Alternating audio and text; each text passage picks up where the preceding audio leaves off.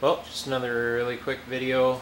Uh, I have the sim booted up and things are pretty much as they were before with one exception.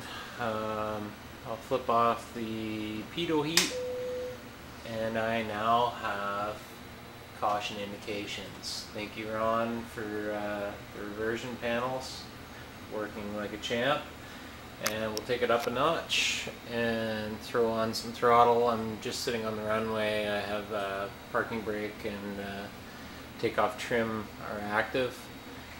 And we'll throw the throttle up and you can hear the PM sounds get grumpy. And we now have the master warrens on both sides.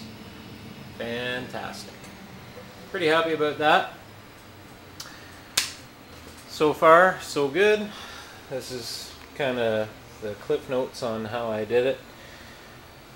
Uh, I wired it up. The both panels are in parallel and hooked. I used a Cat5 Ethernet cable and ran it down. It's really ugly here yet, but uh, yeah. First things uh, interface to the FDS sysboard. Uh, I'm pretty happy about that. Just have to figure out the uh, the acknowledgement is active. I'm getting some mixed reactions from the sim as to when I acknowledge it and uh, what it does. It seems to, to cancel out further uh, annunciations of the LEDs. So I think that's probably um, something to do with the way I programmed it through the FDS. But uh, yeah, for now pretty happy about how it's working.